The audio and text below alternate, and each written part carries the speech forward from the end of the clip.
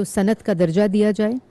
और दूसरा, वो तमाम इकदाम जो फैसिलिटेट करें, उसको ग्रो करने में, जिसमें टैक्स इंसेंटिव्स थे, जिसमें सिनेमा के इंफ्रास्ट्रक्चर को इंक्रीज़ करने के लिए, उसको ज़्यादा तकवीत देने के लिए इंफ्रास्ट्रक्चर के इंसेंटिव्स मौजूद थे। और उसके बाद उसको बजट 2018 का हिस्सा भी बनाया गया था। लेकिन you know without going into further detail उसके ऊपर खातिर ख्वा काम ना हो सका, शुरू हुआ। लेकिन वो जो एक स्पिरिट थी उस पॉलिसी की वो फॉलो नहीं हुई। और वो इनेबलिंग इन्वायरमेंट अराउंड इट जो है उसका फुकदान रहा। तो ये एक अनफिनिश टास्क था जो मेरे तो ज़ाती तौर पे दिल के बड़े करीब है और उसकी वजूहत ये हैं कि ये खाली फ़िल्म इंडस्ट्री की बात नहीं है। आ, अगर आपको याद होगा पीटीवी की वो स्क्रीन जिस वक्त हम बड़े हो रहे थे माशरा भी बेहतर था।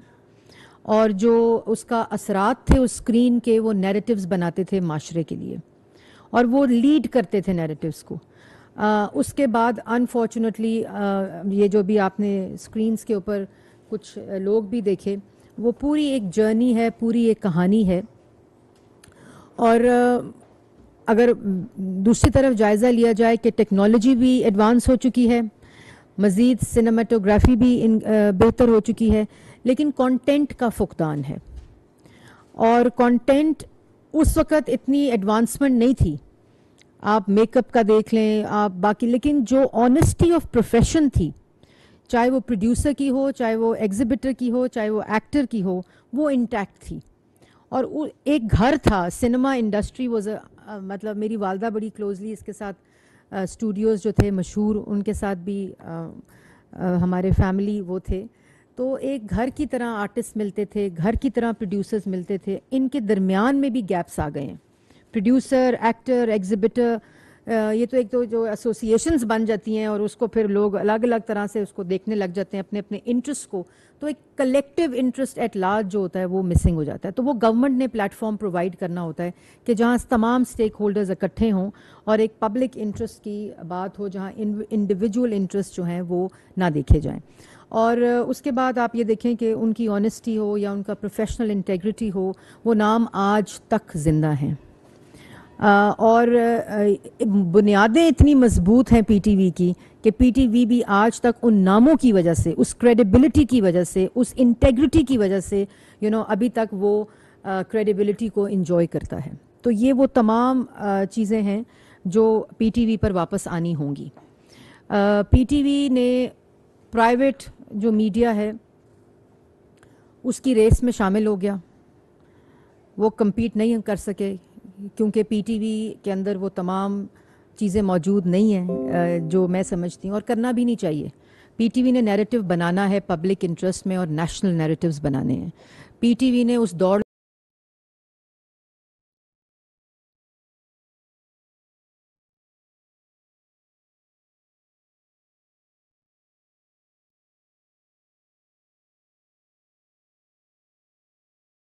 में नहीं शामिल होना जो दौड़ पीटीवी की है ही नहीं।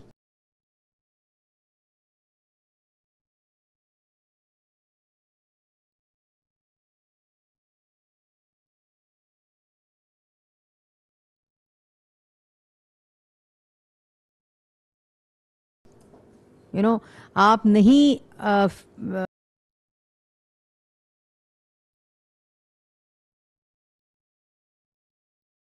उस लेवल के ऊपर कम्पीट कर सकते हैं और आपको आपका मैंडेट नहीं, नहीं है। आपका मैंडेट एक नेशनल नैरेटिव बनाना है और वो नैरेटिव्स जो उस नेशनल नैरेटिव को इफ़ेक्ट करते हों इन्फ्लुएंस करते हों उनको एक तरह फैसिलिटेट करना है और उसके साथ साथ उनको काउंटर करना है। ताकि जो अपना एक इंडिजिनस नैरेटिव है वो खो ना जाए।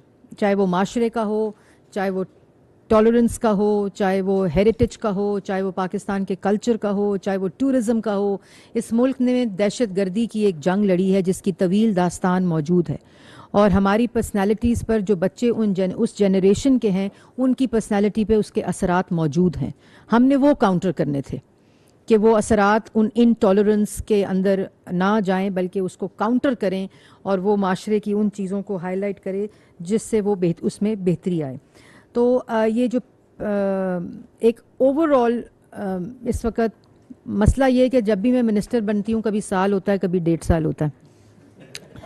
तो वो जो एक रिफॉर्म जिसको आप लॉन्ग टर्म रिफॉर्म कहते हैं, उसके जो स्टेप्स हैं, वो कभी कभी कॉम्प्रोमाइज़ हो जाते हैं, क्योंकि आपको पाँच साल का आपका जो मैंडेट है, वो आपका साल, डेढ़ साल में नहीं हो सकता ख़त्म।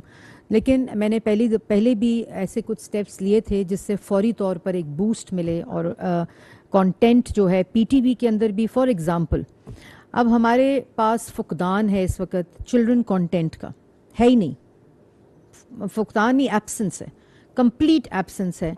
प्राइवेट चैनल्स के अंदर भी जो है उसमें भी चिल्ड्रन कंटेंट मिसिंग है। फ़िल्म साइट पे चिल्ड्रन कंटेंट मिसिंग है। डॉक्यूमेंट्री साइट पे चिल्ड्रन कंटेंट मिसिंग है और जिसकी वजह से हमारे बच्चे तमाम फॉरेन कंटेंट देख रहे हैं।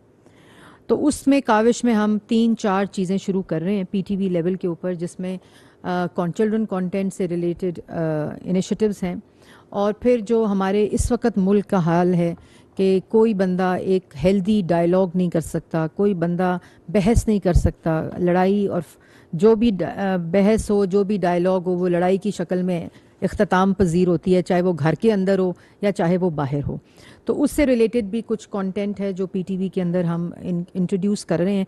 न्यूज़ कंटेंट को कम किया जा रहा है एज अ पॉलिसी और वो न्यूज़ कंटेंट जिससे पाकिस्तान के अवाम की आगाही हो खबर से आ, असल जुजियात जुड़े हुए होते हैं उसकी वो हो। आ, लेकिन सारा वक्त ट्वेंटी फोर सेवन हम उस रेस में ना शामिल हों जो की जा रही है। लोगों के अंदर एंटरटेनमेंट की इस वक्त डिमांड है। उसको पूरा कर करने की कोशिश की जा रही है। इसी काविश को देखते हुए ये आप जो सामने लोगो देख रहे हैं ये पीटीवी फिल्म्स की डिवीज़न है जिसमें का मकसद जो है वो यूथ इंगेजमेंट है इनटू फ़िल्म मेकिंग जिसमें पीटीवी और जॉइंट वेंचर्स भी हैं जेवीज़ भी हैं जिसके अंदर हम यंग लोगों को बुलाकर उनको इनवाइट करके एक ट्रांसपेरेंट तरीके से जॉइंट वेंचर्स करके उनको इंगेज करेंगे। और उसके बाद वो पीटीवी होम के ऊपर जो है वो स्क्रीन हम अवेलेबल करेंगे। फॉर दैट फ़िल्म डिवीज़न उसकी टाइम स्लॉट्स के अंदर। और इसके साथ साथ जो मकसद है वो खाली फ़िल्म को स्क्रीन पे लाना नहीं है पीटीवी के।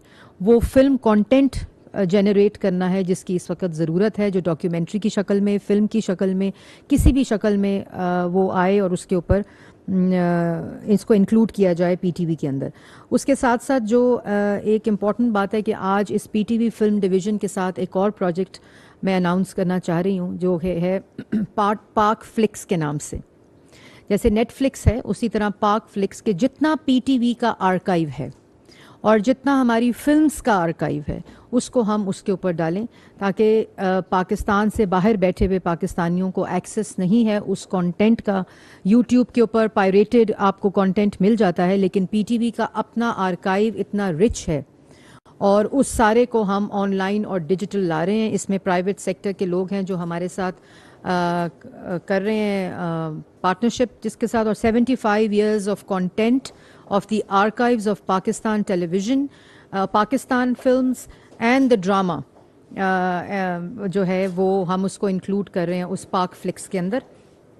तो वो कंटेंट एक्सेस हम देंगे to everybody once it's online and it's you know it's a project that we are starting from uh, today under the 75 years of celebrations of uh, golden jubilee of pakistan uh, जो हमारी celebrations हैं। और इसके uh, साथ साथ ये भी मैं बताना चाहूँगी कि प्राइवेट सेक्टर का बहुत इम्पोर्टेंट रोल है। साथ पीर साहब यहाँ बैठे हैं यहाँ आर्टिस्ट भी बैठे हैं जो फ़िल्म पॉलिसी इन 2018 2000 जो 22 का बजट है, उसके अंदर यही जो फ़िलासफ़ी है, यही जो इंसेंटिव बेस्ड अप्रोच है फ़िल्म इंडस्ट्री के लिए, उसको एक दफ़ा फिर कोशिश करके डाला जा रहा है, जो कि आपको बजट स्पीच में भी उसके कॉन्टूर्स जो हैं ब्रॉड और उसके जो फीचर्स हैं, वो मिल जाएँगे। और एक और चीज़ जो हम कर रहे हैं, वो मिनिस्ट्री के लेवल के ऊपर there is no one window operation for film industry to communicate with the ministry and because film एक इंडस्ट्री है और इंडस्ट्री का जो कॉन्टैक्ट है और इंटरफेस है वो बाकी मिनिस्ट्रीज़ के साथ भी होता है। जिसमें फाइनेंस uh, है कॉमर्स है uh, जिसमें आपको एक्सपोर्ट के इश्यूज़ हैं इम्पोर्ट के इश्यूज़ हैं। तो उसके लिए हम एक फ़िल्म डायरेक्टरेट का क़याम जो है मिनिस्ट्री ऑफ़ इंफॉर्मेशन के लेवल जैसे नेफटेक होता था उसी की बुनियाद के ऊपर एक फ़िल्म डायरेक्टरेट का क़याम है जिसमें तमाम जो मिनिस्ट्रीज़ हैं और तमाम जो फ़िल्म के डिफरेंट फीचर्स हैं, जिसमें प्रोड्यूसर्स हैं एक्सिबिटर्स हैं एक्टर्स हैं, उन तमाम का एक one window communication with the ministry of information for film industry and drama industry उसको इंट्रोड्यूस किया जा रहा है और वो इंशाल्लाह बजट के बाद जो है वो इन प्लेस हो जाएगा। तो ये कुछ चीज़ें हैं।